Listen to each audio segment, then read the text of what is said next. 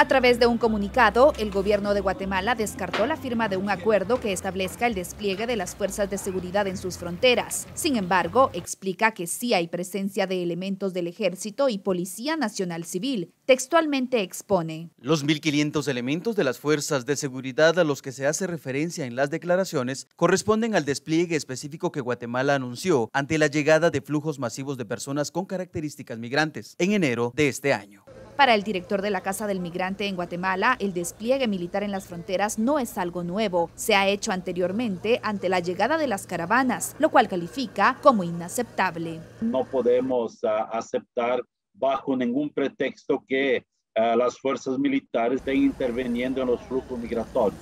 Asegura que estas acciones son herencia de otro gobierno estadounidense. La mentalidad de nuestros gobernantes persiste como el aparato ideológico, racista, xenofóbico de Donald Trump. Y enfatizó que se necesitan otras acciones para detener la migración irregular. Solamente cerrar fronteras y reprimir migrantes no resuelve el problema. Aquí el problema se resuelve con oportunidades que reactive a una política de desarrollo para las pequeñas, medianas empresas. Eugenia Sagastume, Voz de América, Guatemala.